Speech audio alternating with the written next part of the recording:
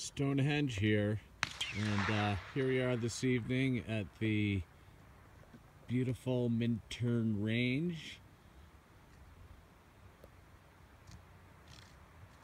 And uh, thought I'd never do something like this, but I'm actually going to do a little bit of a review of Sellier and Bellot. I think that's how you pronounce it. Sounds goofy, but it isn't. 10 millimeter ammo. Uh, this stuff, if you buy it on Sportsman Guide on sale, 27 cents a round shipped.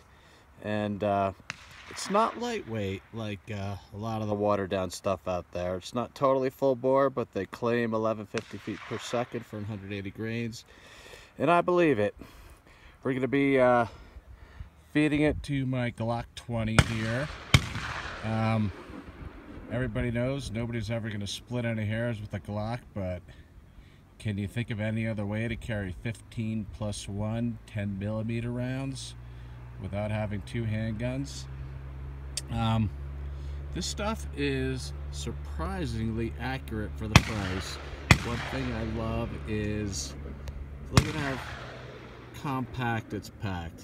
Can't make it any more compact. Those of us short on storage space, you can load this up and stash it away. It's also really, really clean. I haven't shot the Sellier and Bellot in years, and I remember trying it back when it was hard to find ammo, and I remember it being absolutely filthy. And that was some 357 I have, but uh, that brass came out really clean. So what we're going to do here is just put our Glock and support it on um, these couple of sandbags here. One thing I'll say, it is totally stock, except I did do the disconnector through the triggers probably down to about two and a half pounds. So we're shooting from our bench here, and we're going for this 10 inch gong, and I think it clocked in at 24 yards. Uh, my arms are going. I'm not the best pistol shot in the world, but uh, can see how uh, hard hitting and uh, pretty damn accurate this stuff is for the cost. Alrighty, I've got a saying when it comes to my G20. Rack it and smack it. Uh, let's see what my eyes can do here.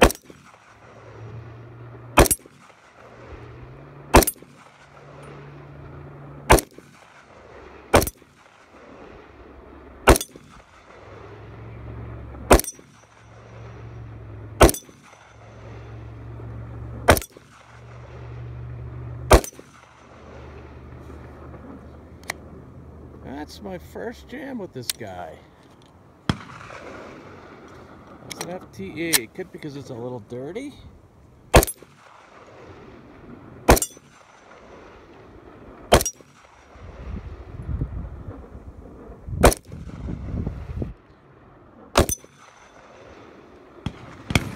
Not bad for 27 cents a pop. Your 10 millimeter likes to eat, so feed it.